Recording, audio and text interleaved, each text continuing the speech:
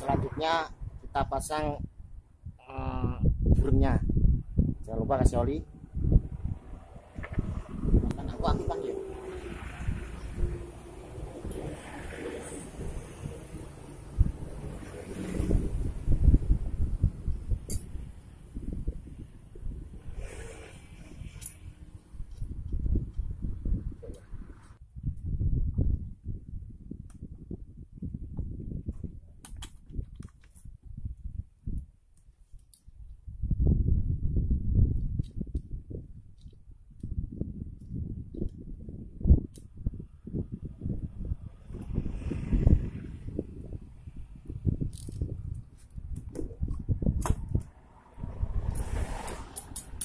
Oke. Setelah pemasangan uang bakar jangan lupa. Stot kamprat masukkan.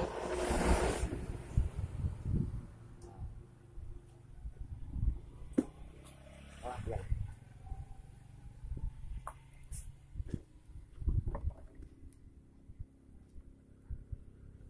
biar tidak lupa kita topkan terus dulu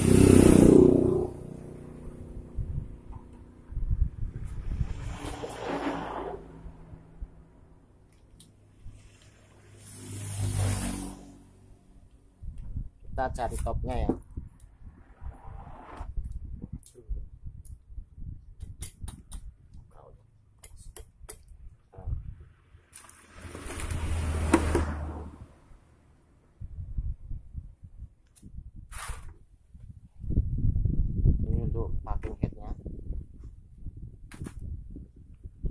Juga kasih lem untuk mencegah kebocoran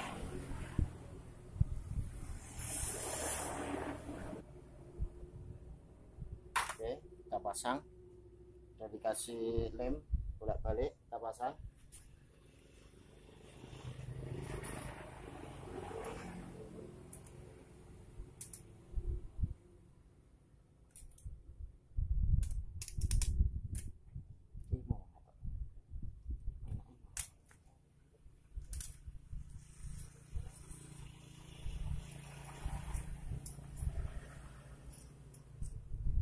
setelah packing terpasang kita pasang headnya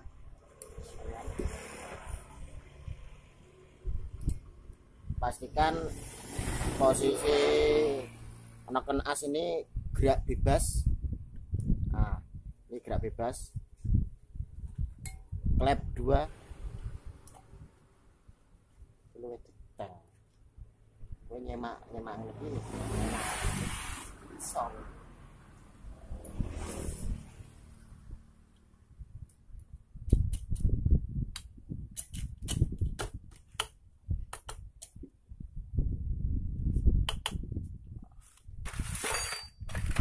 setelah itu kita pasang baut 10 panjangnya kurang lebih 10 cm lebih ya 10 cm kita deratkan terlebih dahulu. Setelah itu kita pasang ring 44 nya di baut 12 1 2 3 4 murnya juga memakai mur 12 4 juga 1 2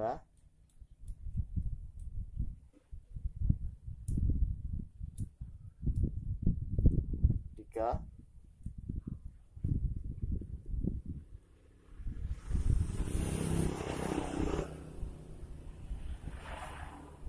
dan yang terakhir yang keempat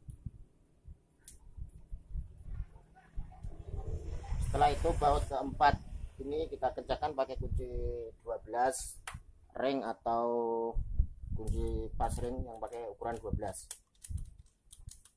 untuk pengencangan dibiasakan menyilang.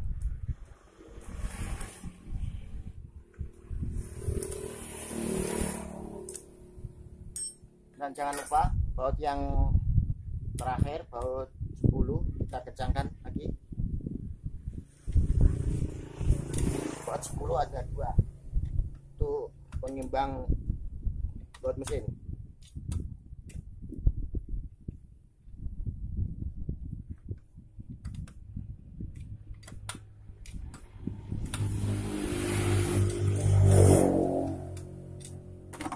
Habis ini kita cari titik titik topnya untuk memasang gigi temeng.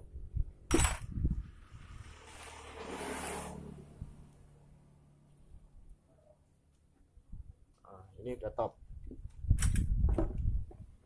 nah untuk pemasangan gigi temeng kita pastikan di noken ini tidak bebas. Jangan sampai lebih. Ntar kalau sampai ini maju eh, kemungkinan besar motor akan susah hidup eh, langsam tidak enak juga. Nah, kita pasang terlebih dahulu ya nah.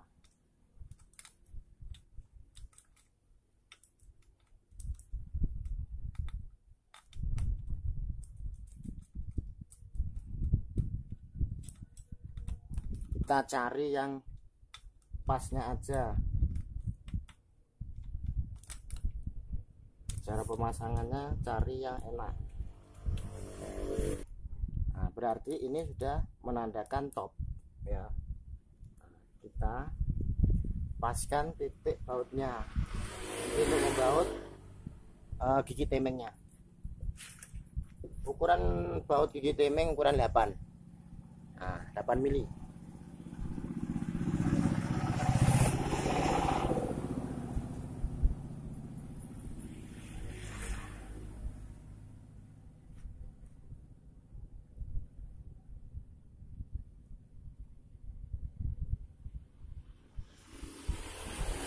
sebelum mengencangkan gigi uh, baut gigi alangkah baiknya kita pasang uh, stud temengnya dulu ya.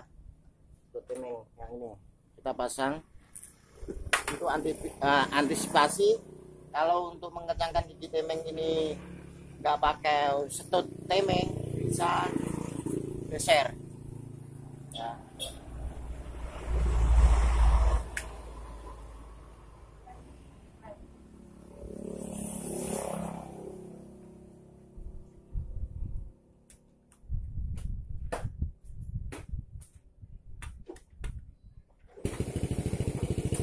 habis itu nah ini kan stot temengnya ini dilepas. Nah kita lihat atau kita cek rantai temengnya kenceng apa enggak. Oh udah kencang nah setelah itu kita pengun pengun kita kencangkan yang baut temeng ukuran 8 saya apa ya iya ya oke nah, kita menggunakan kunci 8 ya. Untuk mengencangkan gigi eh, baut gigi temengnya ini dengan perasaan aja dengan perasaan sampean masing-masing. Setelah itu kita putar. Nah, untuk antisipasi uh, valve-nya atau klepnya tidak nempel di piston atau seker. Nah. Oke, aman. Ya enggak nempel di pistonnya.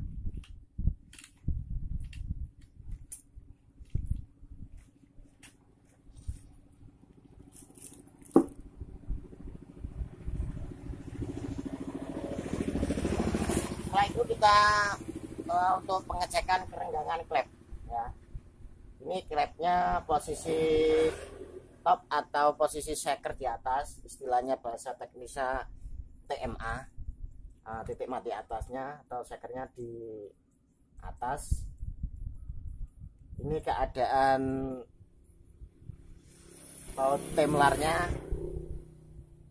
atau setelan klepnya ini terlalu kencang atau terlalu rapat ya.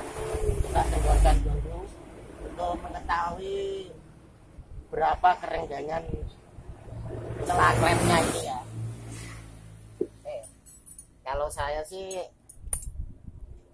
nggak pernah pakai filler. Istilahnya kalau bengkel desa itu feeling kick feeling kick bisa bu bisa bu apa sih? Masang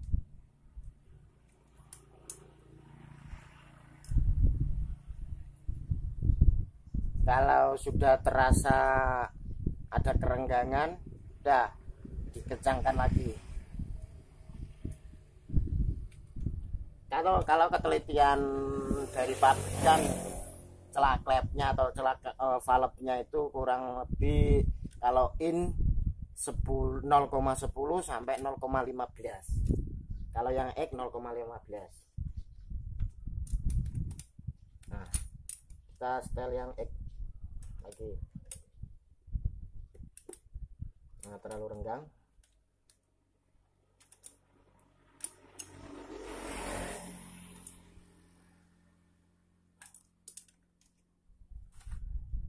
Setelah itu sudah kita setel semua. Habis itu disela jangan lupa sebelum dinaikkan rangkanya ke mesin alangkah baiknya kita cek saluran oli ini. Yang si sebelahnya klep in nah ini kan ada lubang. Nah, alangkah baiknya kita cek atau kita engkol. Dia keluar nggak olinya? Jalan nggak? Naik nggak? Nah, gitu.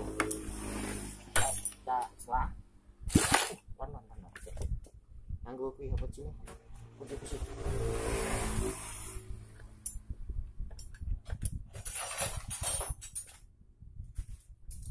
untuk memperingan untuk ngengkol kita lepas businya aja biar ringan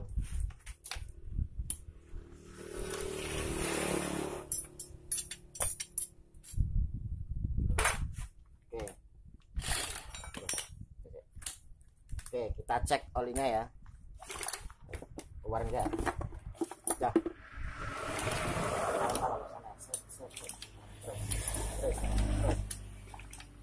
Engkol terus sampai lubang kecil ini keluar olinya.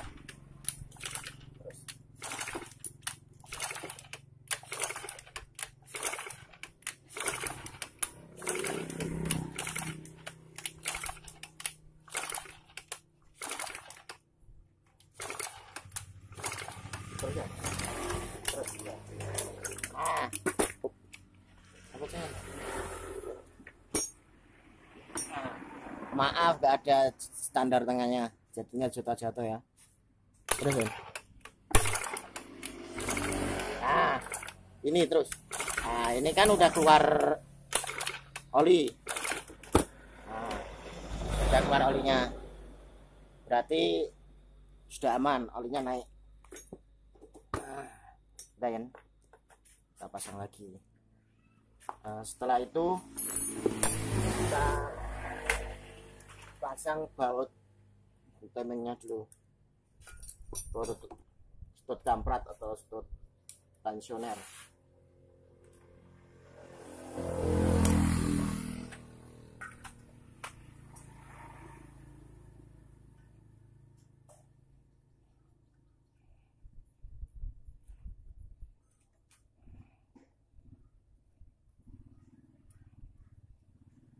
habis itu kita biasakan kalau sudah melepas uh, seal kayak gini toh nah, tutup klepnya ini jangan lupa kita kasih lem untuk antisipasi oli biar nggak bocor.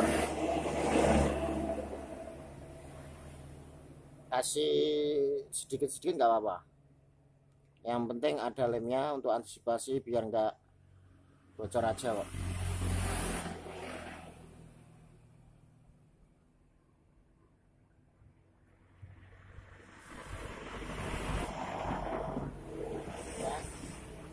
setelah itu kita pasang ya. Tutup ini kita pasang.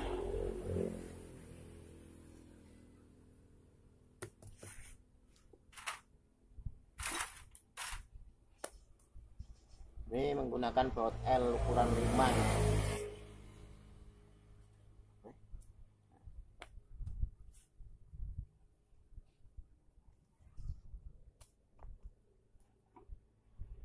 barang-barangnya ini cuma teman-teman bukan atau matum tutup ini yang kono kabeh iki tapi sa filter-filter ini ya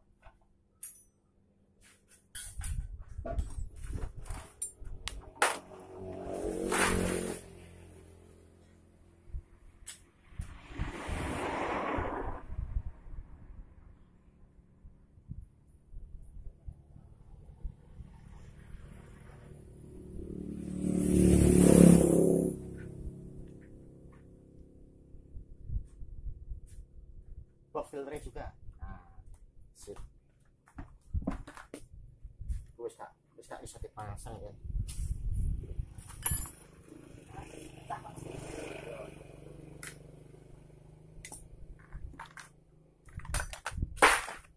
Ini sangat memperhatikan mas bro. Nah, mau dipasang gimana cara masangnya? Lah yang penting kita pasang aja ini. Biar nggak kecacar di bengkel guys itu pelawak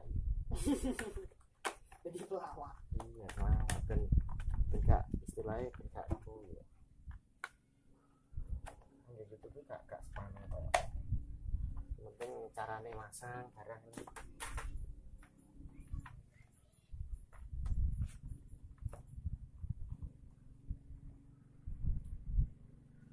Tidur kena ya? Kena ya? Ah atasnya nggak ada mas bro jadinya kita lewati aja ya. Selanjutnya kita pasang box filternya. Nah.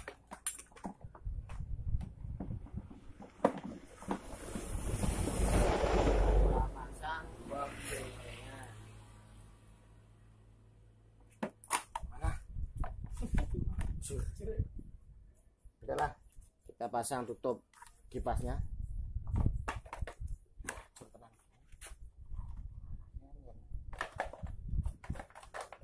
Iya.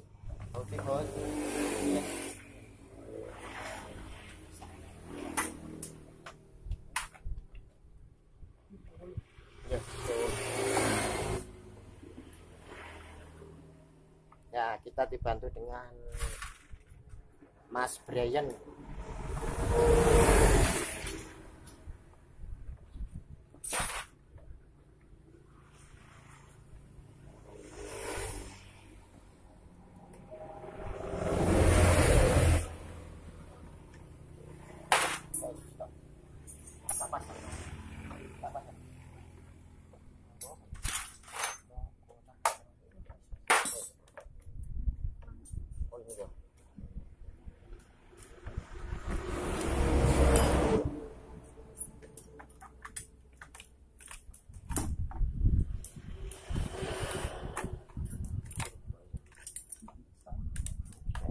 Emang enak. Ini bautnya 10 ya? Ini baut 10. Ini baut ning guri ya. Ini baut filter guri iki seneng arep ya. Jangan lupa kita teliti bautnya semua.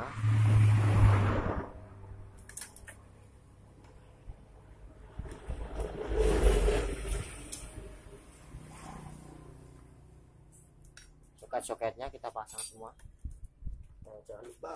Ini yang ini turtle bodinya kita pasang